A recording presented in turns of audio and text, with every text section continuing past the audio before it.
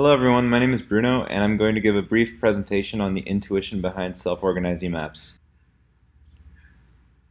First, what are they? Self-organizing maps are unsupervised neural networks that cluster high-dimensional data. Their architecture typically includes an input layer, a set of weights, and the Kohonen layer. The Kohonen layer is a fully connected layer of neurons that has weights per each input. These weights get trained over time via the difference between their inputs and the weight values. We will discuss how the self-organizing map learns later. An example of self-organizing map in nature is the brain. The brain takes in inputs in the form of senses and maps those inputs onto particular areas. This is exactly what a self-organizing map does after it's trained. One example of an application of self-organizing maps is in natural language processing. In this example, a group of researchers took 2 million medical papers and pre-processed the text. They then fed this text into a self-organizing map with 75,000 neurons. One thing to note is that this quantity of information with this many neurons will require a GPU to train and many, many days. Anyway, the final production was this graphic containing clusters of similar meaning words.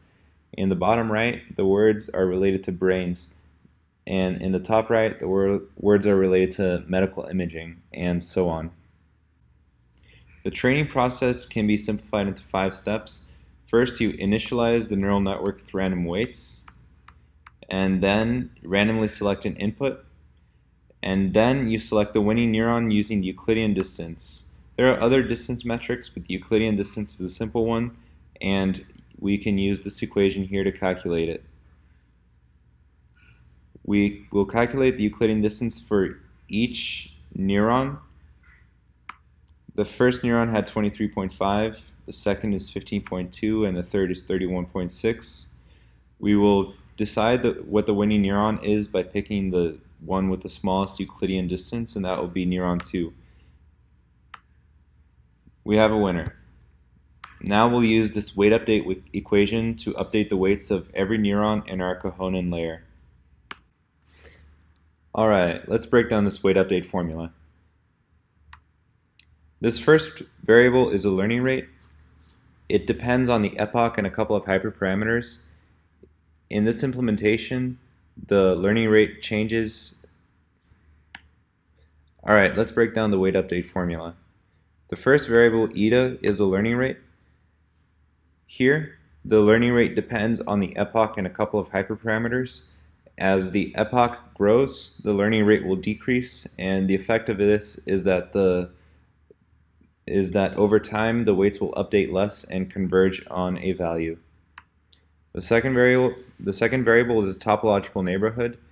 It depends on the distance between neurons, the capital S, and also the neighborhood size, the sigma variable. The capital S is the lateral distance between neurons and it is the Euclidean distance between neurons.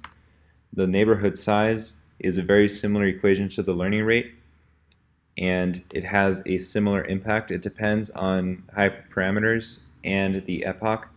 It also converges to a value over time. In order to understand how self-organizing maps function, it's important to answer the question, how does dimensionality reduction occur? This is entirely dependent on the distance between neurons, as we can use these distances to map them onto a two-dimensional plane, like so. You can try this out yourself and choose a set of dots and distances and arrange them onto a grid, and you'll see that they'll conform to a limited number of ways. When you have many neurons with many distances between them, they will conform to a small set number of ways. Okay, I hope you've developed a good intuition on how self-organizing maps work. In this Jupyter Notebook example, we'll import the Minisom library, which is a minimalistic implementation of self-organizing maps, though it works quite well. We will also import the breast cancer dataset from sklearn and do some clustering analysis to cluster malignant and non-malignant breast cancer and we'll use the labels given from the dataset to see how well our clusters will be. We will also set our hyperparameters These hyperparameters I tune manually, but in a future video we'll learn how to tune self-organizing map hyperparameters. A couple of things to note here is that the sigma and the learning rate variables that we saw in the presentation are used as constants here. And there are more complicated implementations of Minisom, but we will just focus on the simple implementation for now. We then load our data from sklearn and initialize our self-organizing map using the hyperparameters that we set. So let's start running things.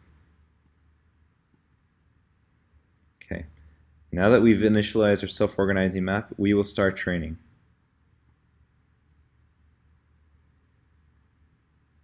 Training took about three seconds.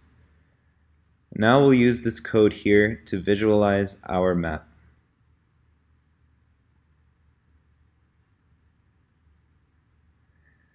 And there we go. We get a good clustering there, with the green being the non-malignant tumors and the red being the malignant tumors. I hope this example has shown how easy it can be to implement a self-organizing map, and I hope the presentation has given you a good intuition on what they are and how they learn.